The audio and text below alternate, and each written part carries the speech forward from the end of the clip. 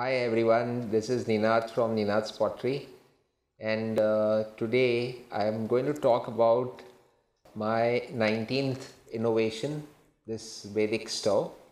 After many many years of research in oil lamps, my being my first innovation being this oil lamp, uh, in which I have spoken separately, and you all can refer to that video. Uh, have come to this very beautiful innovation called the Vedic Chula stove. It's the ninth stove in the world, and uh, today I will explain everything about this stove, including how to use it.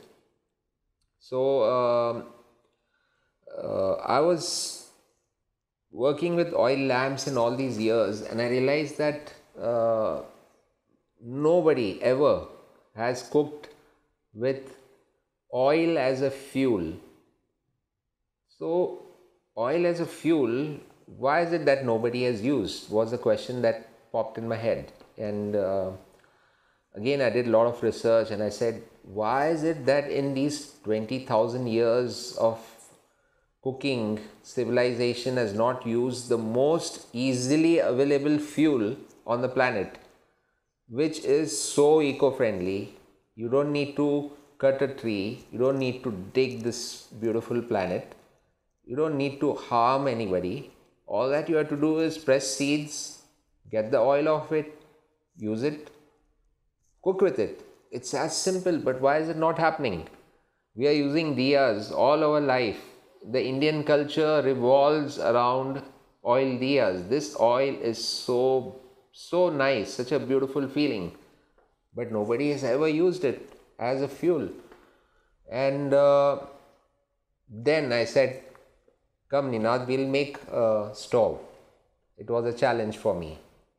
And uh, once I started working on Project Stove, then I realized, oh, why is it that people have not cooked? Uh, there were many obvious reasons. So, uh, one of the obvious reasons is uh, see the viscosity here, it's highly viscous. This viscosity is one of the biggest impediments which people must have faced while cooking. And uh, the, uh, let me talk about the eight stoves, the chulas, which are present currently on this planet, in this globe there are eight stoves. The first one was the wood stove, uh, which everybody knows. Then came charcoal, briquettes, etc. It's the same family of stoves. Then came the kerosene stove. If anyone has used this very ugly kerosene stove, you realize that even a drop of kerosene, if it comes on your fingers, you will run to wash it it's so it's so unpleasant. It's an industrial uh, smelly liquid which is very thin and uh, it's so volatile that it's explosive actually. And people have died and it's been also misused in our in these last many centuries to uh, you must have read that uh, some people were killed from kerosene stoves. And uh, then came the electric stove. Then the fifth one, which is there in every household, is the LPG stove, which uh, I'm sure every household has it. Then came the solar, which is so nice. I find that solar and my stove are quite at par. The Seventh one was the microwave, which is one of the worst cooking ways in your kitchen. It's causing cancer, and uh, many people are now beginning to chuck away their newly bought microwaves and induction. These are the dead ways to cook. Uh, in Indian Vedas, uh, we say there should be Agni. Agni means the fire god if it's not there and you're killing with this dead process, you're cooking with this dead process of uh, uh, microwave and induction and just nuking your food out, uh, you're going to cause cancer in your cells. And uh, the, the life force in your food will be dead. You don't want that to happen. What's the objective of cooking? At the end of the day, you want to cook for uh, feeling good and uh, getting the proper nutrition into your cells.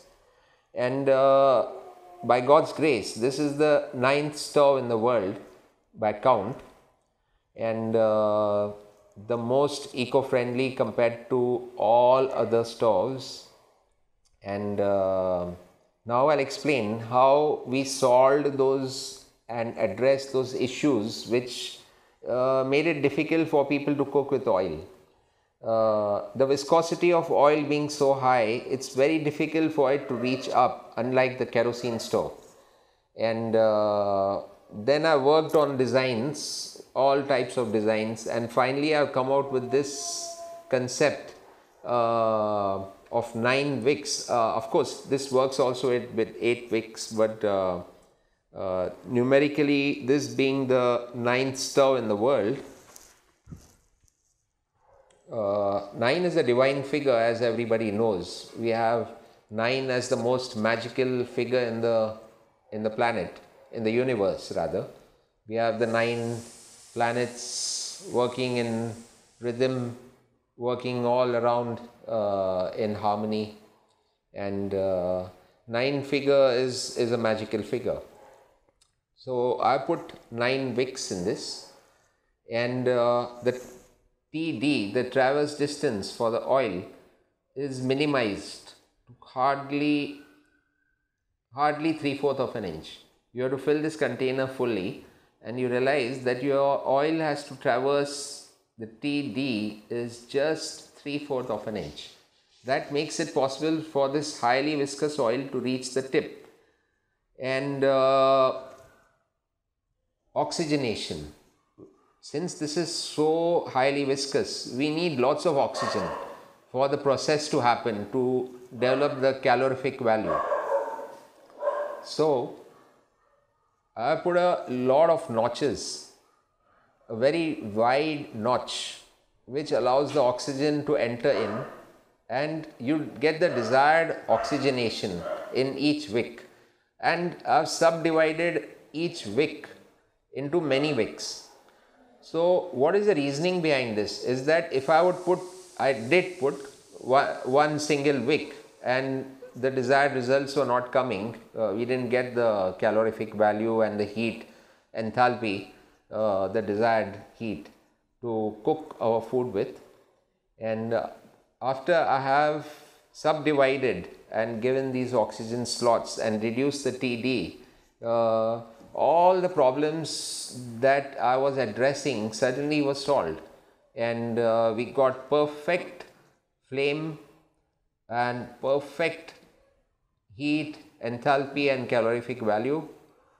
Uh, then the sudden realization came that whatever food was getting cooked on this was tasting far better than the other stores, especially the gas stove.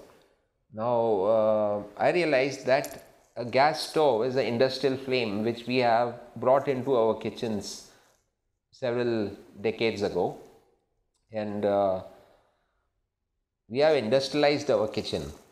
And it's time that we go back to our roots and try to see where we are going wrong.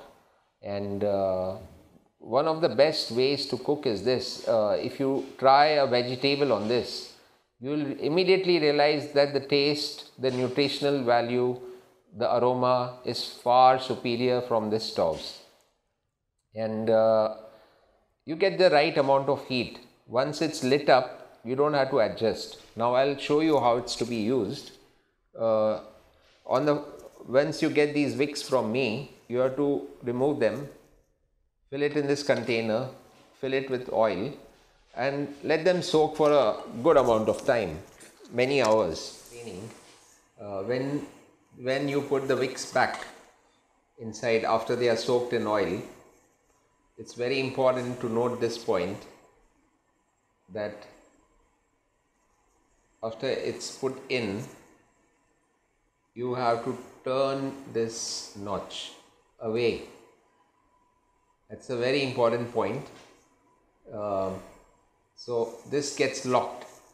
You won't have any uh, flame going downwards into the oil. So please follow this after you have for the first time set up your burner. I repeat when you have soaked your your wicks and are putting the soaked wicks inside put it through the notch put it through the notch and just turn the notch away from the open position. That's a very important point. When they are soaked they go in very easy. They go in effortlessly. Even now they are. See and i'm going to turn it. This is a very important point. So I have technically designed this that no flame can traverse downwards into the oil. Very important point to note. Many hours. And when you're going to use it repeatedly, this is already used by me several years. Now I'm going to show you how to use this. Say for example I cooked yesterday and I want to repeat my cooking today. So I'll remove a bit of carbon. I will lift the wicks up. This process I'll just carry on. So uh, one of the uh, ways to lift the wicks uh, is uh, either with your fingers or you can use a tweezer which uh, can easily lift the wicks up. It's uh, a tweezer is there in, in every household. Lifts the wicks effortlessly, very easy, and uh, as you can see, I'm just getting hold of the wicks in my tweezer and lifting them up. lift them all up in this way. It's very practical. And uh, keep a few threads loose so it's easier to light it up. And you can also dip a little oil on the wicks before you start lighting them with the matchsticks. And uh, as I'm lighting it up, uh, one of the points to be noted in this is that this stove is using a fuel which uh, is eco-friendly and it will reduce the carbon footprint of every human who's using it. Today it's the need of the hour that every human looks at his carbon footprint and how he affects the planet and this will result in a zero carbon footprint. After all the wicks are lit and uh, adjusted, now I'm just showing you an example of how it was lifted. Uh, I'm going to show you the adjustments. See the carbon is coming here and as soon as I set it, it will have a nil black soot carbon.